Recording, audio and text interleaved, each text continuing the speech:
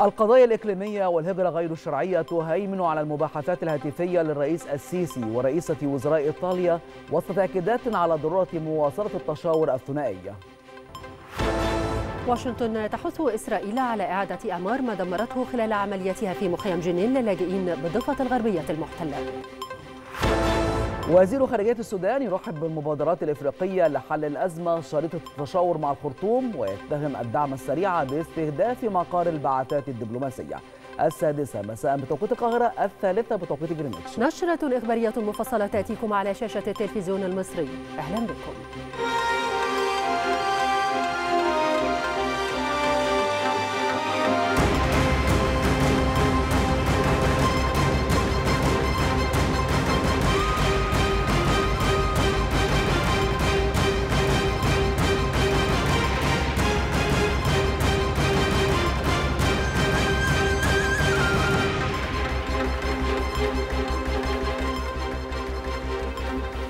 تلقى الرئيس عبد الفتاح السيسي اتصالا هاتفيا من رئيسة وزراء إيطاليا جورجيا ميلوني. وصرح المتحدث الرسمي باسم رئاسة الجمهورية بأن الاتصال تضمن الإشادة المتبادلة بالعلاقات المتميزة تاريخيا بين البلدين الصديقين إلى جانب التعاون القائم للتصدي للعديد من التحديات في منطقة المتوسط. كما أكد المتحدث الرسمي باسم رئاسة الجمهورية أن الاتصال أكد أهمية العمل على مواصلة تطوير مختلف أطر التعاون المشترك ودفعها إلى أفاق أرحب إلى جانب التنسيق والتشاور المكثف حول تطورات مختلف القضايا الإقليمية. كما تناول الاتصال بحث مستجدات بعض موضوعات العلاقات الثنائية بالإضافة إلى ملف أزمة الغذاء على المستوى الدولي. فضلا عن التباحث بشأن قضية مكافحة الهجرة غير الشرعية وسبل تنسيق الجهود الدولية في هذا الصدد بالإضافة إلى التباحث حول عدد من القضايا الإقليمية والدولية ذات الاهتمام المشترك.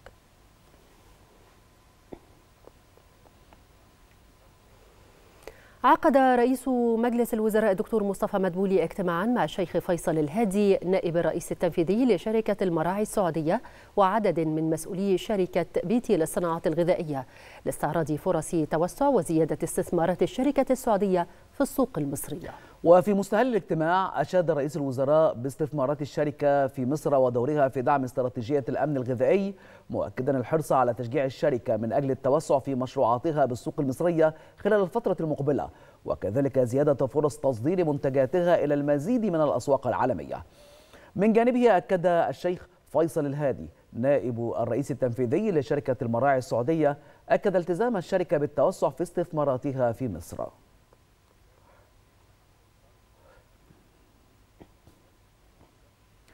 تابع رئيس مجلس الوزراء مصطفى مدبولي موقف تنفيذ عدد من المشروعات الخدمية والتنموية بمحافظة أسيوط وأكد رئيس الوزراء الحرص على متابعة موقف تنفيذ مختلف المشروعات في كافة المحافظات لدفع العمل بها من أجل العمل على تحسين الخدمات المقدمة للمواطنين. واطلع رئيس الوزراء على الموقف التنفيذي لمشروعات المبادرة الرئاسية حياة كريمة بأسيوط وإلى موقف تنفيذ عدد من المحاور المرورية الحيوية بالمحافظة.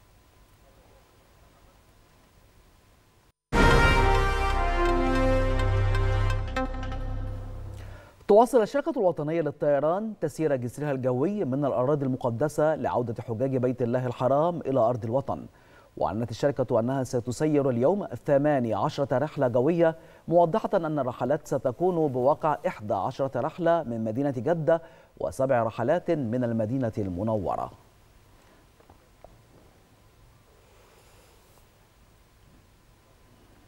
تواصل البعثة الطبية المصرية بمكة المكرمة والمدينة المنورة عملها لاستقبال ضيوف الرحمن لتقديم الخدمات العلاجية والوقائية لهم.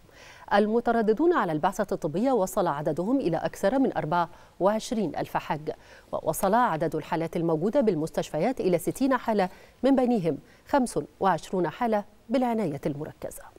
مع إقبال ضيوف الرحمن من الحجاج المصريين على المدينة المنورة لزيارة الحبيب المصطفى صلى الله عليه وسلم تزداد حالات الاستنفار القصوى لعيادات البعثة الطبية بمدينة رسول الله. لتقديم كافة الدعم اللازم للحجاج المصريين من خدمات علاجية ودوائية لتوفير السبل الراحة والأمان لهم خلال الزيارة. إيه والله الحالات معظمها بتبقى ساعات في الفترة الأخيرة دي بالتهابات في الجهاز التنفسي العلوي. ومعظم متوسط الحالات بتجينا في الشفت بتاعي تقريبا حوالي من 60 ل 70 حالة يوميا.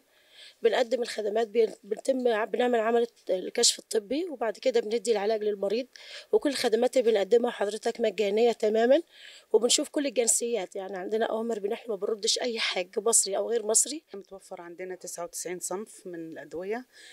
عندنا مخزون استراتيجي بنتابعه يوميا. عندنا أدوية الضغط عندنا أدوية السكر الأدوية المزمنة. عندنا برضو أدوية البرد اللي هي كل الحجاج. كما يقوم فريق الطب الوقائي التابع للبعثة الطبية المصرية باستقبال ضيوف الرحمن فور وصولهم إلى المدينة المنورة لتوعيتهم بكيفية الوقاية من الأمراض المعدية كأحد الإجراءات الاحترازية التي تتخذها البعثة الطبية نحو ضيوف الرحمن. بنوصل لهم الرسائل بتاعتنا برضو اللي هي اللي هي المستمرة معانا الجهاد الحراري ضربات الشمس الهايجين فديت اللي هي الرسائل الثابتة معانا دايما خلال موسم الحج في حاجات تانية إحنا بنقوم بيها مش مش مش بنوصلها كرسالة مباشرة.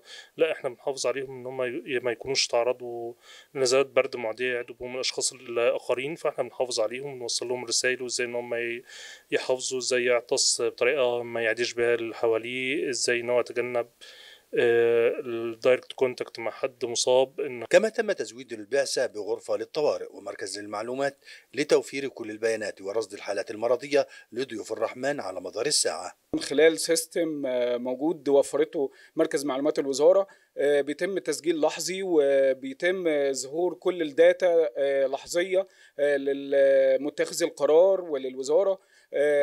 كل ده بيتم فعاليات ب automation system. زودنا كمان السنة دي إن إحنا نقدر نعمل dashboard. تقدر تقول لنا حالات التنويم قد إيه الحالات الطوارئ اللي داخلة معانا قد إيه. بتجر... بنشوف حالات الوفيات ونسبتها قد إيه.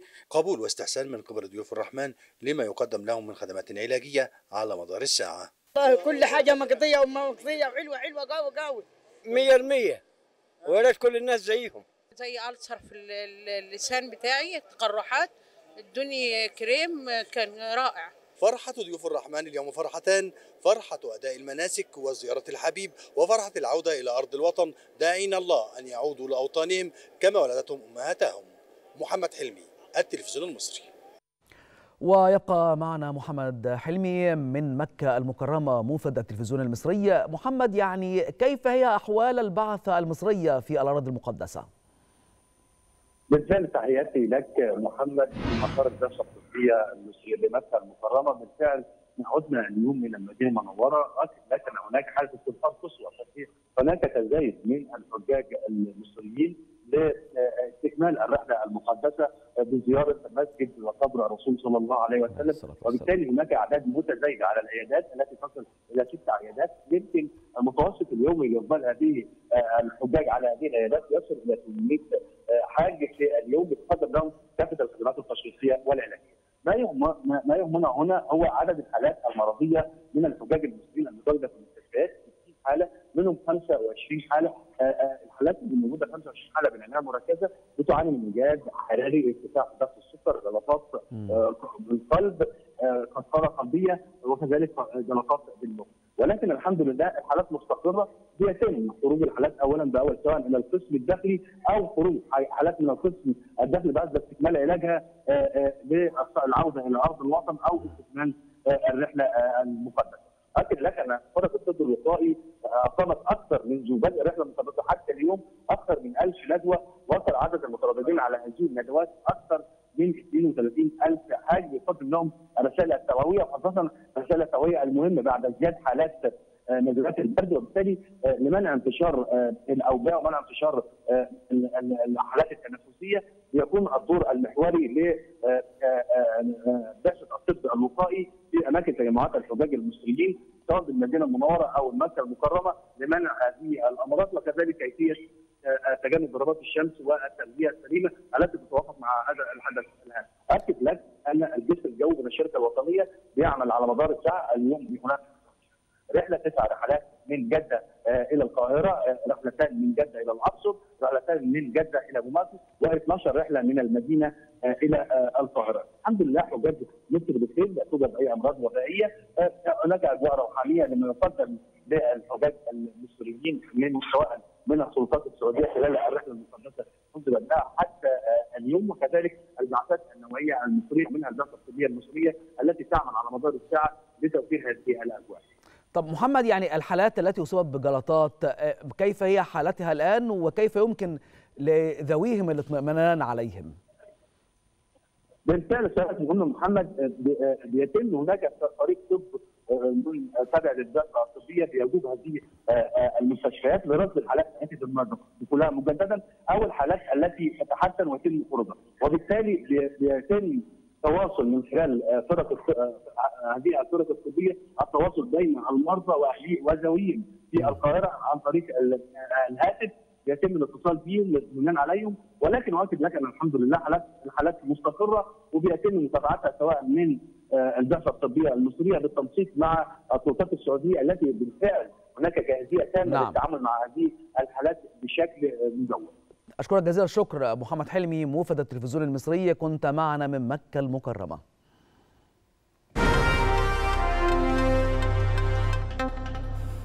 أعلنت السلطات الإسرائيلية مقتل جندي إسرائيلي بزعم إطلاق نار نفذه فلسطيني في الضفة الغربية المحتلة. وذكرت هيئة البث العامة الإسرائيلية أن المشتبه به فتح النار على أحد أفراد قوات الأمن الإسرائيلية قرب مستوطنة كودوميم شمال الضفة الغربية المحتلة مشيرة إلى تحييده.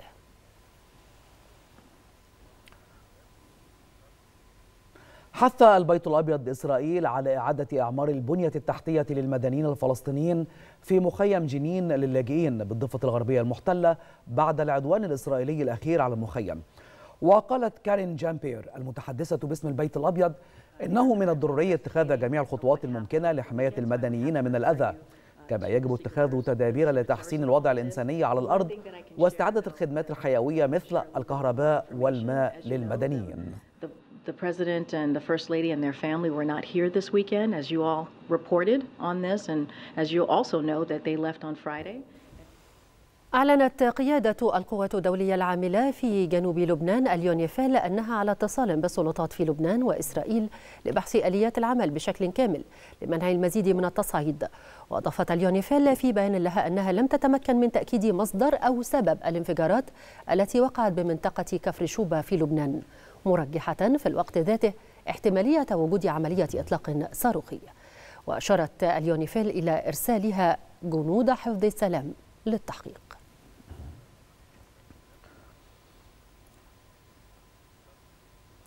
هذا وتابع رئيس حكومة تصريف الأعمال اللبنانية نجيب ميقاتي. الوضع في الجنوب عبر اتصالات مع قائد الجيش وقيادة قوات اليونيفيل. كما عقد ميقاتي اجتماعا مع المنسقة الخاصة للأمم المتحدة في لبنان جوانا فرونتسكا ووفد من قيادة القوة الدولية العاملة في جنوب لبنان اليونيفيل لبحث التداعيات. كان ميقاتي أكد خلال لقائه المنسق الخاص للأمم المتحدة لعملية السلام في الشرق الأوسط التزام لبنان بالقرارات الدولية وضرورة الحفاظ على الهدوء والاستقرار في الجنوب.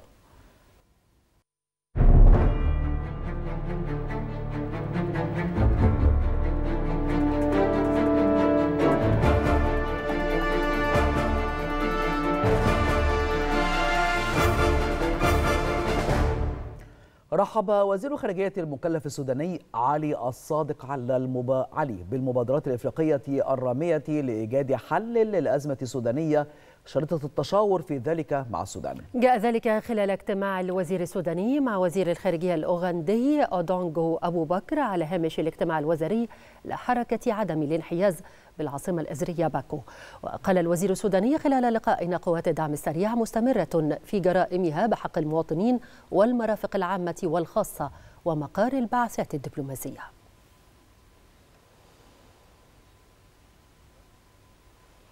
استقبل السيد أحمد أبو الغيط الأمين العام لجامعة الدول العربية إبراهيم الدخيري المدير العام للمنظمة العربية للتنمية الزراعية لبحث وضع القطاع الزراعي في السودان. وحذر أبو الغيط من خطورة تأثير النزاع القائم على الأمن الغذائي السوداني والعربي وأشار إلى أن هذه الأوضاع الخطيرة تستدعي سرعة التحرك عربيا ودوليا.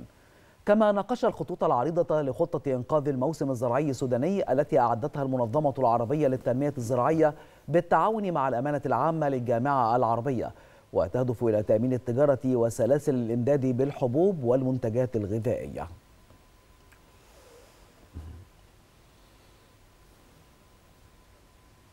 خطر داهم يهدد كل مظاهر الحياة في السودان. في ظل احتدام المعارك بين الجيش السوداني وقوات الدعم السريع. وامتد هذا الخطر ليهدد التراث الثقافي السوداني الغني بمكوناته المتنوعة. وذلك بعد فقدان العديد من القطع الأثرية والكتب القيمة. جهود كبيرة للحفاظ على التراث الثقافي للسودان مع احتدام المعارك في البلاد منذ إبريل الماضي بعد أن فقدت العديد من الكتب النفسية والآثار القديمة. الصراع الدائر طالت نيرانه التراث الثقافي الغني للبلاد والذي يشمل مملكة كوش القديمة التي كانت تسيطر على التجارة ما بين الجنوب والشمال الإفريقي.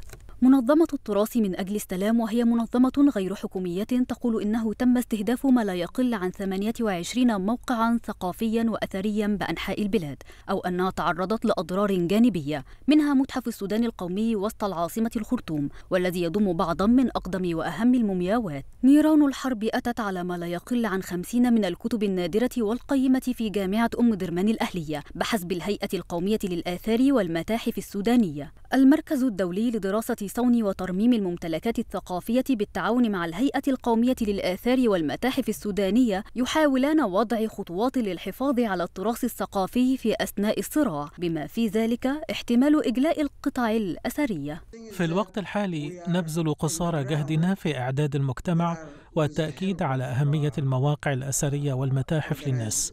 حتى يتمكنوا من المساهمة في الجهود لحماية المواقع والمعالم الأثرية في السودان. المركز الدولي لدراسة صون وترميم الممتلكات الثقافية بالتعاون مع الهيئة القومية للآثار والمتاحف السودانية يحاولان وضع خطوات للحفاظ على التراث الثقافي في أثناء الصراع، بما في ذلك احتمال إجلاء القطع الأثرية. واصلت الأجهزة المعنية بمحافظة أسوان جهود تقديم الخدمات المختلفة للوافدين القادمين من السودان. جراء تداعيات الأزمة الحالية عبر المعابر البرية في أرقين وقسطل ومستشفى أبو سمبل الدولي بجانب الموقف الدولي بكركر. هذا وتواصل تواصل توافد المصريين والسودانيين ورعاية الدول عبر معبري أرقين وقسطل الحدوديين.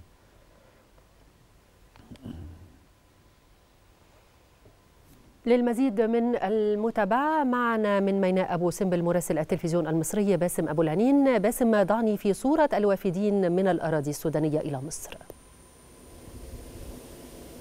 مساء الخير عليكم هنا من أمام ميناء أبو سمبل النهريه ما زال الميناء يستقبل الوافدين من السودان الشقيق الهاربين من نير الأحداث المستمرة والمستعرة. هناك ما زالت مصر تستقبل الوافدين ومرحبة بهم ومفتحة لهم الأبواب على الرحب والسعة في أي وقت يأتون إلى مصر.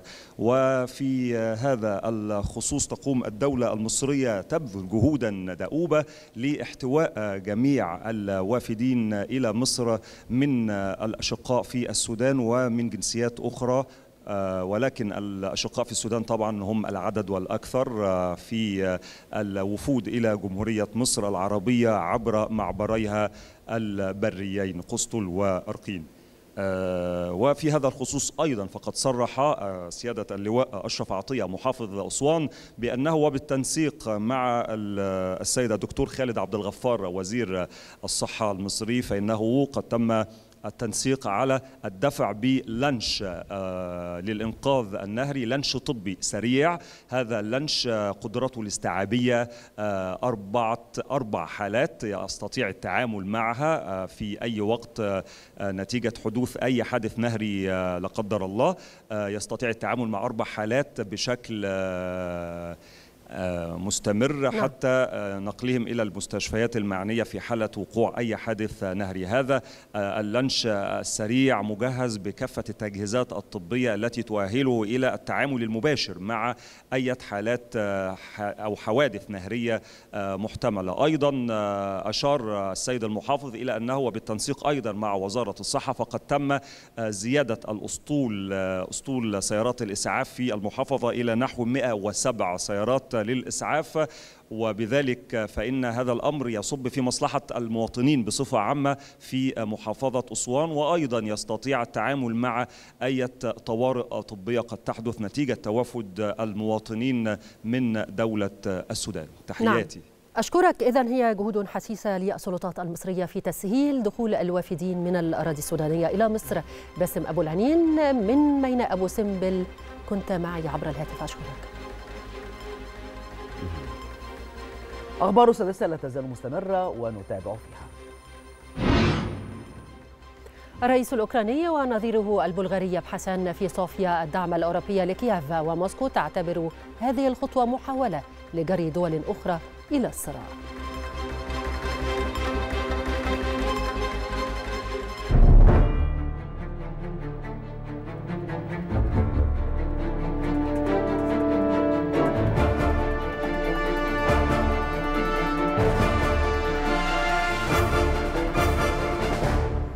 الأزمة الروسية الأوكرانية عقد الرئيس الأوكراني فلاديمير زيلنسكي محادثات مع نظيره البلغاري رومين راديف خلال زيارته الحالية إلى صوفيا. كان زيلنسكي قد صرح بأن زيارته إلى صوفيا ستشهد عقد محادثات بشأن الدعم الدفاعي والتكامل الأوروبي الأطلنطي لأوكرانيا إلى جانب قمة حلف شمال الأطلنطي والضمانات الأمنية وتنفيذ صيغة السلام لإنهاء الحرب في أوكرانيا.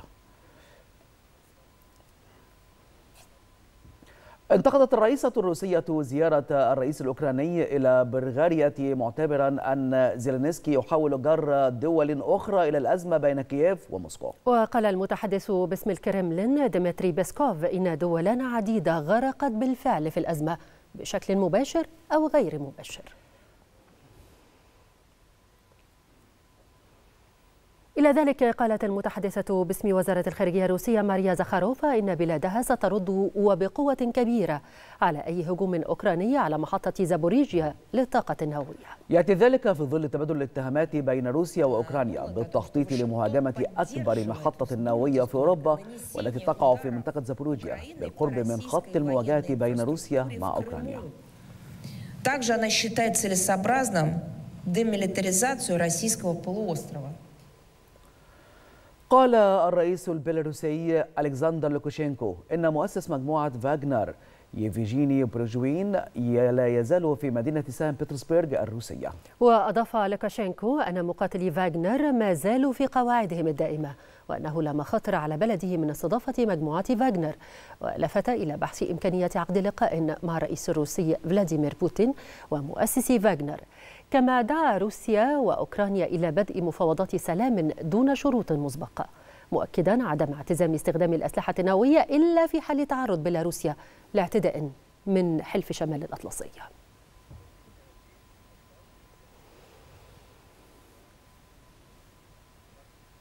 أعلنت وزارة الخارجية الروسية طرد تسعة دبلوماسيين من فنلندا ردا على خطوة مماثلة. وأضافت الخارجية الروسية أنها استدعت السفير الفنلندي للاحتجاج على ما وصفته بموقف هلسنكي المناهض لروسيا. كانت فنلندا قد أعلنت الشهر الماضي طرد تسعة دبلوماسيين روس متهمة إياهم بالعمل في مهام للمخابرات.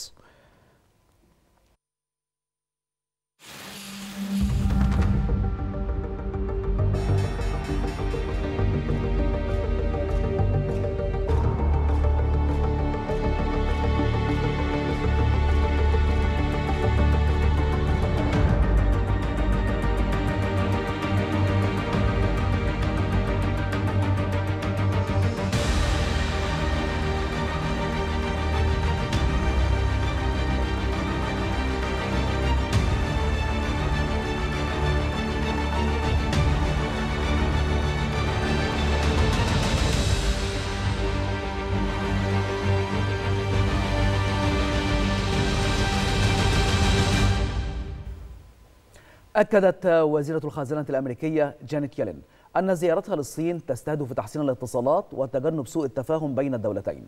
وعقب وصولها بكين أكدت يلين أن الولايات المتحدة ستتخذ الإجراءات اللازمة لحماية أمنها القومي وتأتي تلك الزيارة في ظل تصاعد وتيرة التوتر بين بكين وواشنطن في الآونة الأخيرة.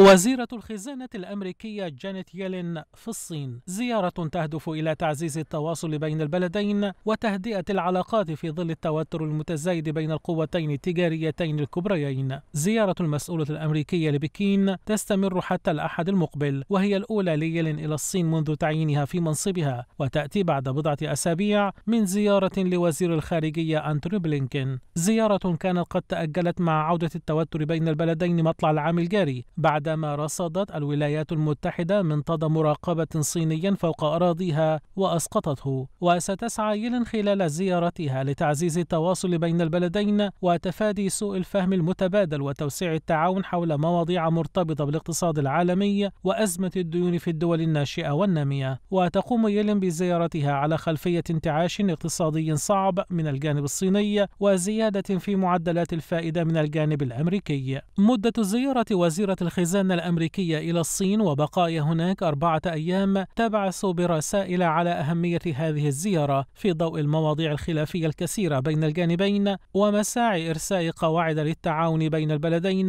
في السنوات المقبلة. هذا ويتوقع المراقبون أن تكون مسائل القيود المفروضة على صادرات المنتجات التكنولوجية وتدابير المنافسة التي تهيمن حاليا على الأجندة السياسية في صلب محادثات الوزيرين مع نظرائها الصينيين وتأكيدا على التحديات التي تواجه يلين أشارت صحيفة وول ستريت إلى عزم الإدارة الأمريكية النظر في الحد من إمكانية وصول الشركات الصينية إلى الخدمة السحابية التي توفرها شركات أمريكية مثل أمازون ومايكروسوفت. وردت الصين على القيود الأمريكية بفرض سقف لصادرات لمعدنين نادرين ضرورين لصنع أشباه الموصلات مما يوحي بأن تحسين العلاقات الثنائية قد يتطلب وقتا. لكن يلين قد تكون الأفضل موقعا لمد جسور التواصل مع الصين فيما يتعلق بالتحديات العالمية المشتركة. وبالرغم من هذه الجهود لا تزال المواضيع الخلافية بين البلدين قائمة حول المسائل الاقتصادية وازدادت حدة مع احتمال فرض الرئيس الأمريكي جو بايدن قيودا على الاستثمارات الأمريكية في الصين فيما يتعلق بالتكنولوجيات الحساسة مما يهدد بتسديد ضربة إلى الاستثمارات في الصين. توقع الأمين العام لمنظمة البلدان المصدرة للبترول أوبك هيثم الغيث ارتفاع الحصة السوقية للمنظمة إلى 40% بين عامي 2040-2045 وأضاف أمين عام أوبك أن توقعاته ستتحقق بعد انخفاض الإنتاج من دول خارج منظومة أوبك بلس أو خارج أوبك مشيرا إلى توقع المنظمة انخفاض إنتاج الولايات المتحدة ودول أخرى بحلول 2030 قال البنك الإفريقي للتنمية إنه سيتم تقديم قروض بقيمة 164.25 مليون يورو إلى حكومة بنين في مسعى للإسهام في بناء قدرات البلاد على التكيف مع تغيرات المناخ وعواقبه. وأشار البنك الإفريقي للتنمية في بيان له أن التمويل يستهدف تطهير المجاري المائية في خضم تعرض بنين لتزايد تقلب المناخ إذ ارتفع عدد البلدات المعرضة لخطر كبير للفيضانات من 22 بلدة بلدية إلى 35 بلدية العام الماضي ما يعكس مدى انتشار الظاهرة ومعدل انتشارها السريع قدم حزب التنمية والعدالة التركية مشروع قانون إلى البرلمان يقترح زيادة الضرائب على الشركات من أجل تمويل التعافي من الأضرار الناجمة عن الزلازل والتي ضربت البلاد في فبراير. ويتضمن مشروع القانون زيادة الضريبة على الشركات إلى 25% من 20% حاليا وزيادة الضريبة على البنوك والمؤسسات المالية إلى 30% من 25% حاليا. وبحسب تقديرات الحكومة التركية فإن إعادة الإعمار قد تكلف البلاد أكثر من 100 مليار دولار. ووعدت الحكومة بإعادة بناء أكثر من 600 ألف منزل لمن فقدوا منازلهم جراء الهزات الأرضية.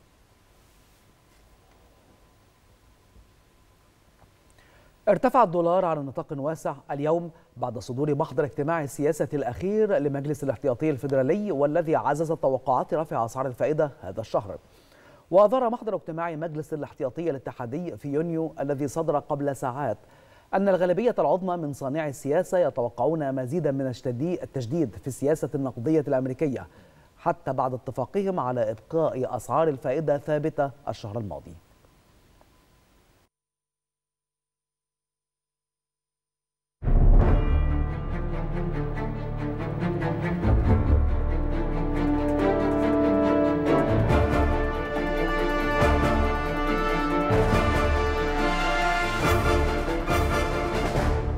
أكد الرئيس الفرنسي إيمانويل ماكرون ضرورة العمل على معرفة الأسباب الجذرية المرتبطة بأعمال العنف والشغب التي ضربت البلاد خلال الأيام الماضية. وخلال زيارته إلى بلدة بو في جنوب غرب البلاد قال ماكرون إن فرنسا عايشت لحظات مهمة في تاريخها في إشارة إلى هذا العنف الذي اندلع إثر مقتل فتى برصاص شرطي في نقطة تفتيش مروري.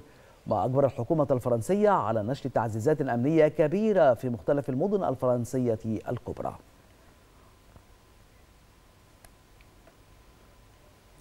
أعلنت وزارة الداخلية الفرنسية اعتقال 20 شخص الليلة الماضية في إطار أعمال الشغب الناجمة عن مقتل شاب برصاص ضابط شرطة. وقالت الوزارة في تقرير عن الحصيلة المؤقتة إنه تم تسجيل 55 حريقا ومحاولة لإشعال الحرائق في المركبات وفي مبنى واحد مضيفة أن شرطيا واحد أصيب بجروح الليلة الماضية. كان وزير الداخلية الفرنسي قد أكد خلال جلسة استماع في مجلس الشيوخ الفرنسي أن العدد الإجمالي للذين تم القبض عليهم بلغ 3505 من الأشخاص.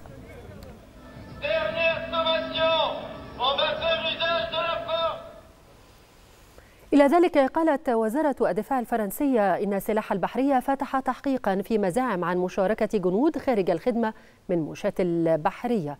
في قمع مسري الشغب في مدينة لوريان الغربية التي تضم قاعدة عسكرية كبيرة. وكانت صحيفة اللو تليجرام المحلية قد نشرت صورا لأفراد ملثمين من مجموعات مناهضة الشغب.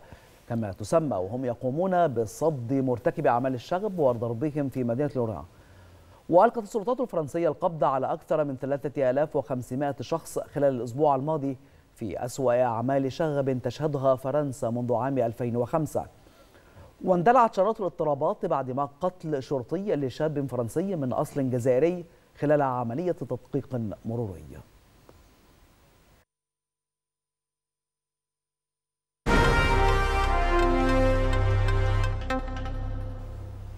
أعلن الإدعاء الألماني القبض على خلية إرهابية مكونة من سبعة أشخاص في ولاية شمال الراين ووينستفاليا وأضاف الإدعاء الألماني أن أفراد الخلية الإرهابية تم القبض عليهم بتهمة تأسيس موقع إلكتروني بدعم الإرهاب في البلاد لافتا إلى أنهم كانوا يخططون للقيام بهجمات ذات تأثير على الرأي العام الألماني.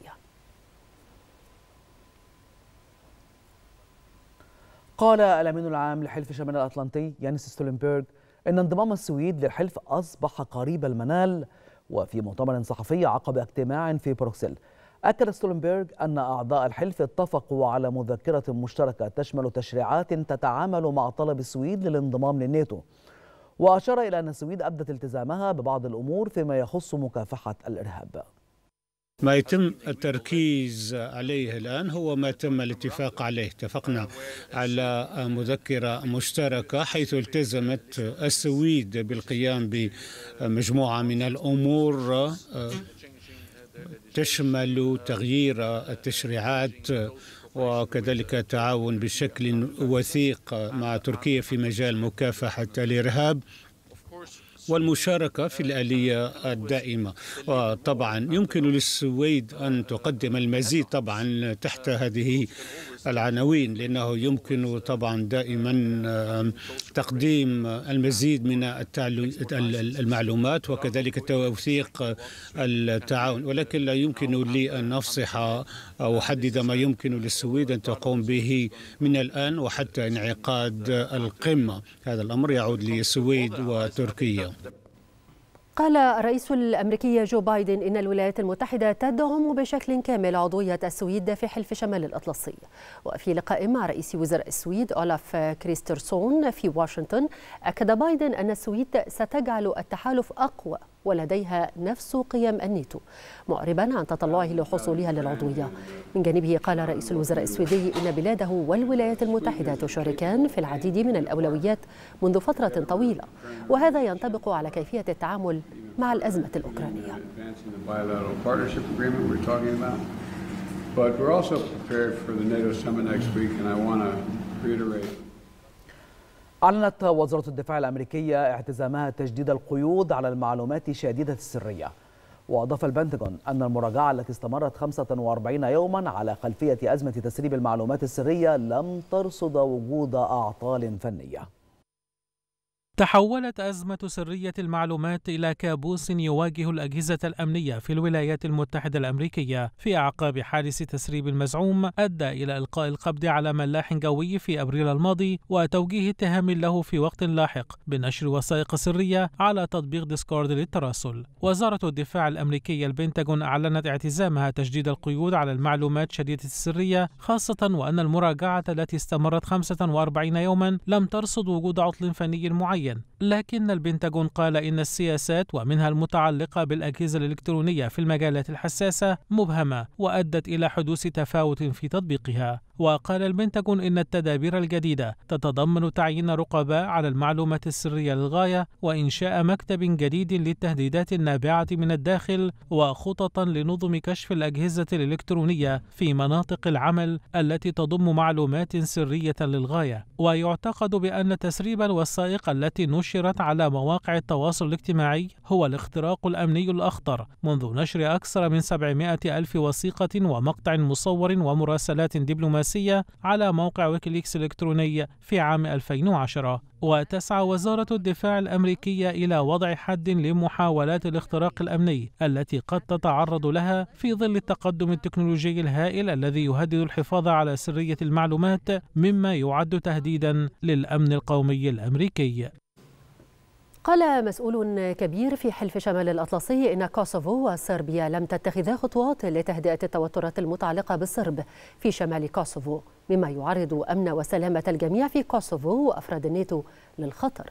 وأوضح مساعد الأمين العام للعمليات في الناتو توماس غوفس إنه لم يحدث أي تقدم نحو خفض التصعيد. كانت أعمال عنف قد اندلعت في شمال كوسوفو بعد أن تولى رؤساء بلديات من أصل ألباني مهامهم. مما أدى إلى اشتباكات وإصابة جنود حفظ السلام والمحتجين الصرب بجروح.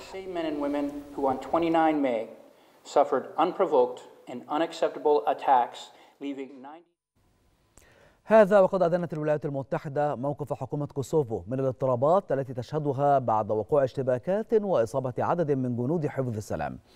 واعتبر وزير خارجية أنتوني بلينكين أن حكومة بريشتينا لم تتخذ موقفا يحد من التصعيد. هذا ويشهد شمال كوسوفو توترات بعد تولي رؤساء بلديات من أصل ألباني مهام منصبهم. في تغير يبدو غريبا بالموقف السياسي الأمريكي تجاه صربيا أعربت واشنطن عن رفضها تحركات حكومة كوسوفو إزاء الاضطرابات على أرضها. واشنطن انتقدت على لسان وزير خارجيتها أنتوني بلينكين موقف بريشتينا واعتبرته مؤججا للأوضاع الملتهبة بالفعل، كما أشار إلى أنها لم تتخذ أي تحرك من شأنه أن يحد من التوتر. بداية الأزمة في شمال كوسوفو تعود إلى أشهر بعد مقاطعة انتخابات شهدت تولي رؤساء بلديات من أصل ألباني مهامهم. في خطوة دعمها رئيس الوزراء ألبن كورتي وأدت إلى تأجج الوضع مؤخرا وخروج مظاهرات أدت لوقوع اشتباكات وإصابة جنود حفظ السلام والمحتجين الصرب. بدوره ألقى المبعوث الأمريكي إلى صربيا كريستوفر هيل اللوم على رئيس وزراء كوسوفو معتبرا أن الولايات المتحدة لديها مشكلة مع شخصه على حد تعبيره. الموقف الأوروبي لم يختلف كثيرا عن واشنطن فالاتحاد الأوروبي أكد أنه لن يرفع العقوبة السياسية والاقتصادية عن كوسوفو ما لم تخفف الحكومة التوتر مع ذوي الأصول الصربية. وذلك بعد أن فرضت دول التكتل إجراءات عقابية على كوسوفو بعد إخفاق حكومة رئيس الوزراء في تلبية مطالب التكتل. والولايات المتحدة بنزع فتيل أزمة في شمال البلاد شهدت أسوأ اشتباكات منذ ما يزيد على عشر سنوات.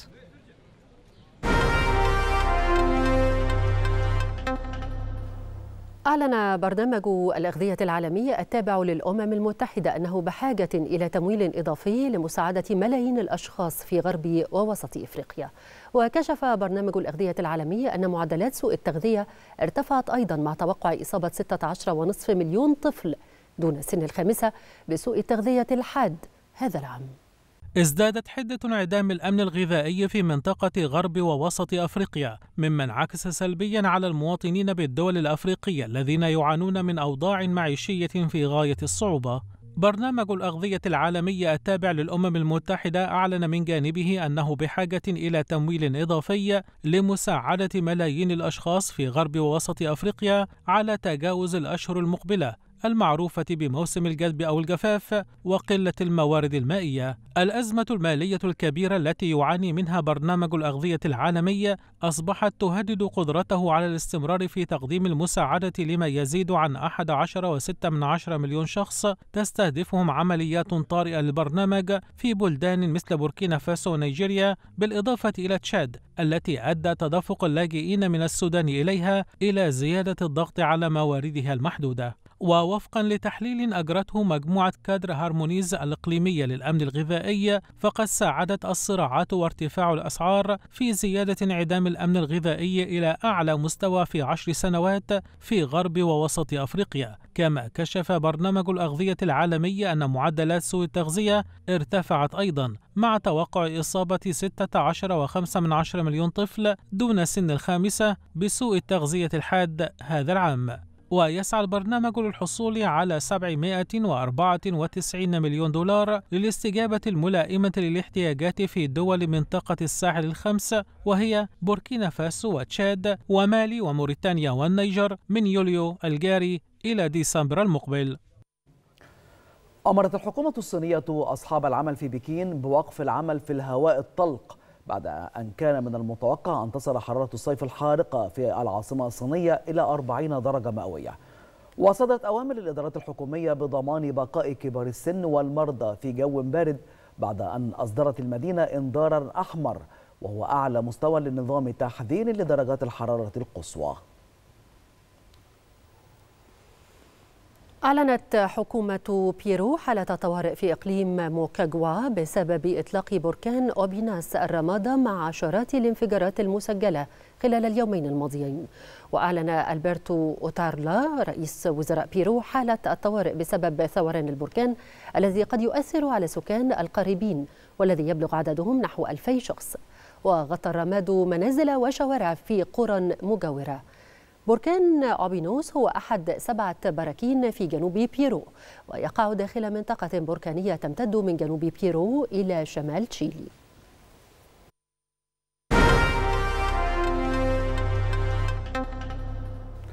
نفى المركز الإعلامي لمجلس الوزراء صحة فيديو تداولته بعض مواقع التواصل الاجتماعي. يزعم نشوب مشاجرة بأحد فنادق الغردقة نتيجة تقديم لحوم غير صالحة للنزلاء.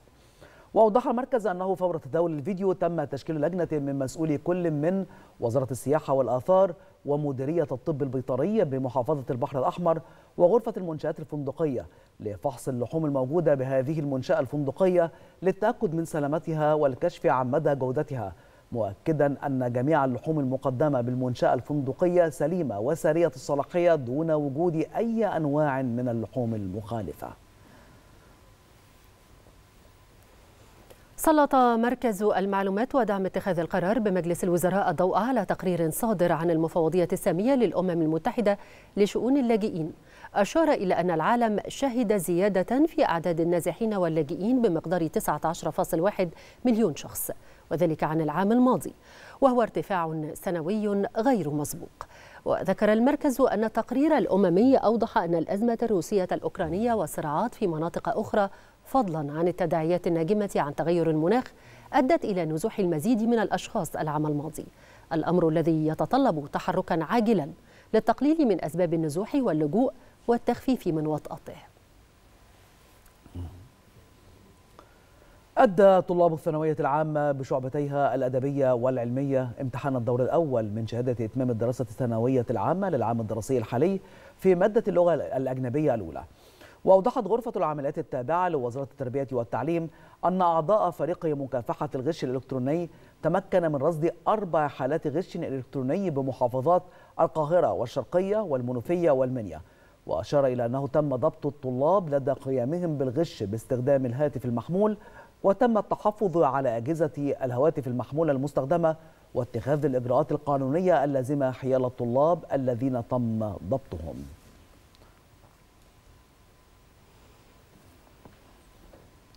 أكد محافظ شمال سيناء محمد عبد الفضيل شوشة أنه يجري إنشاء قلعة تعليمية في مدينة العريش تضم عددا من المدارس متنوعة التعليم.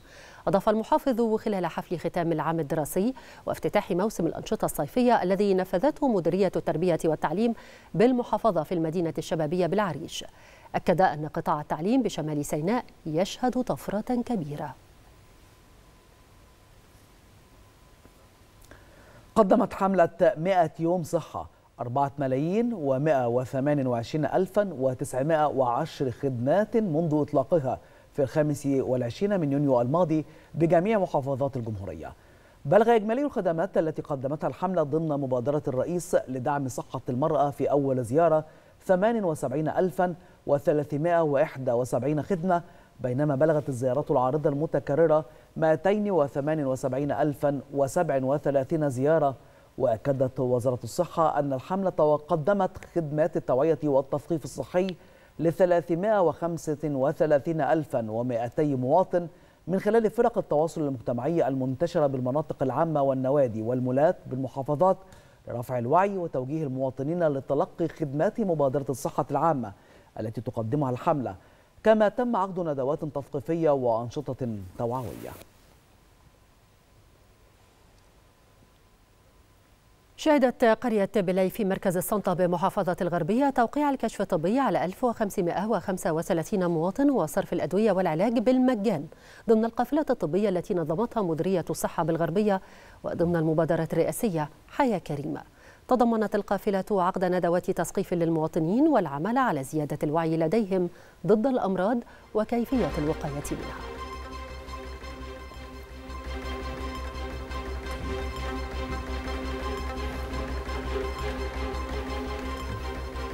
والآن نتحول إلى أخبار الاقتصاد في نشرتنا رجاء رمزي والتفاصيل. رجاء. شكرا محمد شكرا هبة. مشاهدينا أخبار المال والأعمال نتابعها وإياكم في هذه الوقفة الاقتصادية.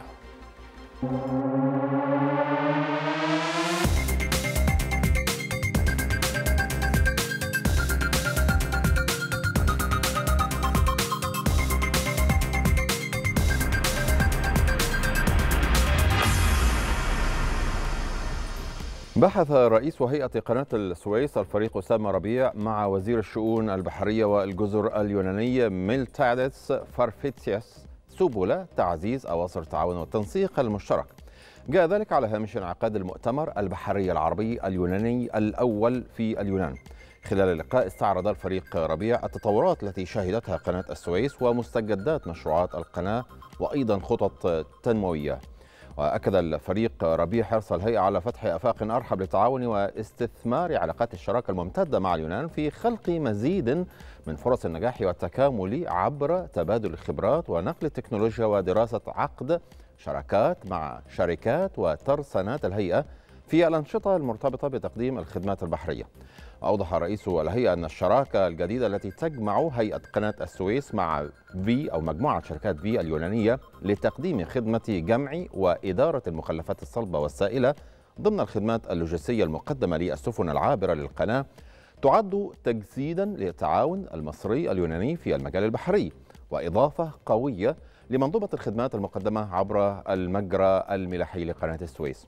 من جانبه أكد وزير الشؤون البحرية والجزر اليوناني أكد أن قناة السويس ستظل أحد المحاور الاستراتيجية لحركة التجارة العالمية وأشاد بما تتمتع به القناة من رؤية متكاملة في تطوير إمكانياتها وقدراتها لتؤهلها للقيام بدورها الحيوي على الوجه الأمثل معربا عن تطلعه لتعزيز نطاق التعاون المستقبلي مع هيئة قناة السويس.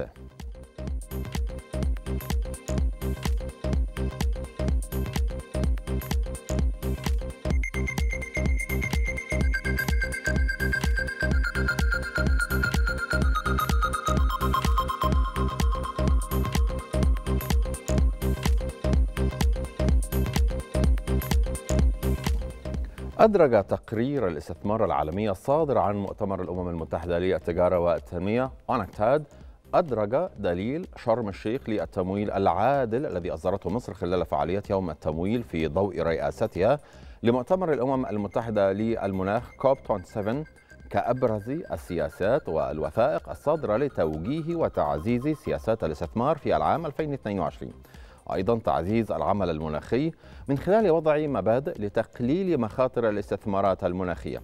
ذكر التقرير أن دليل شرم الشيخ للتمويل العادل أصدرته الحكومة بالتنسيق مع مجموعة واسعة من شركاء التنمية والأطراف ذات الصلة من بينها مؤتمر الأمم المتحدة للتجارة والتنمية أونكتاد لتعزيز التمويل المناخي وتيسير الاستثمارات التي تحقق أهداف العمل المناخي.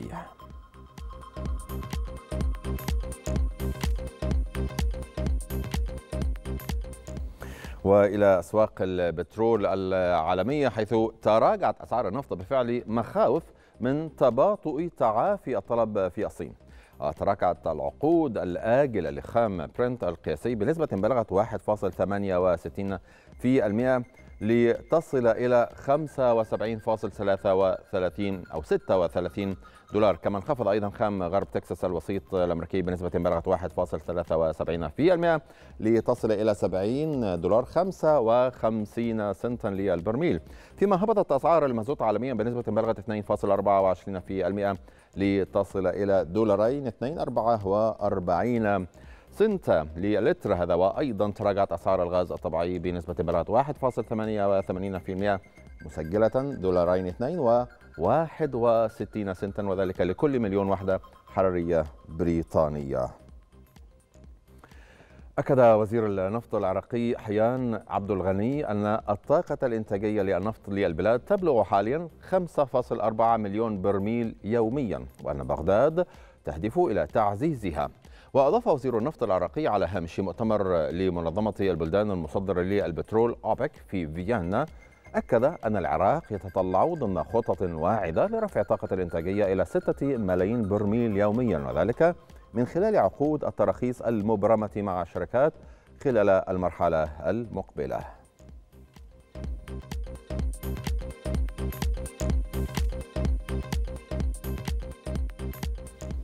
تقلص العجز التجاري الأمريكي في مايو مع انخفاضات الواردات إلى أدنى مستوياتها منذ أواخر العام 2021 حيث أدى ارتفاع تكاليف الاقتراض إلى تباطؤ الطلب المحلي.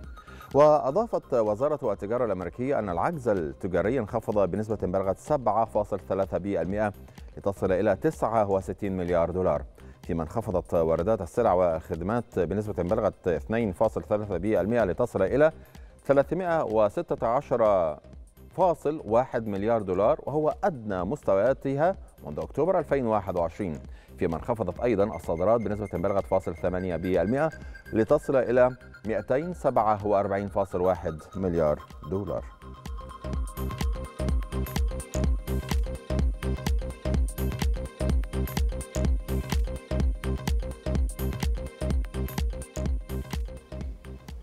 مشاهدينا نهاية هذه الوقفة الاقتصادية عودة مجددا إلى هبة ومحمد فإليكم أشكرك رجائي. وبهذا نصل إليكم إلى ختام هذه النشرة ولا يتبقى لنا سوى التذكرة بأبرز العناوين. القضايا الإقليمية والهجرة غير الشرعية تهيمن على المباحثات الهاتفية للرئيس السيسي ورئيسة وزراء إيطاليا وسط تأكيدات على ضرورة مواصلة التشاور الثنائي. واشنطن تحث إسرائيل على إعادة إعمار ما دمرته خلال عملياتها في مخيم جنين للاجئين بالضفة الغربية. وزير خارجية السودان يرحب بالمبادرات الإفريقية لحل الأزمة. شريطة التشاور مع الخرطوم ويتهم الدعم السريع باستهداف مقار البعثات الدبلوماسية. نهاية نشرة السادسة. أتتكم من على شاشة التلفزيون المصري. إلى اللقاء.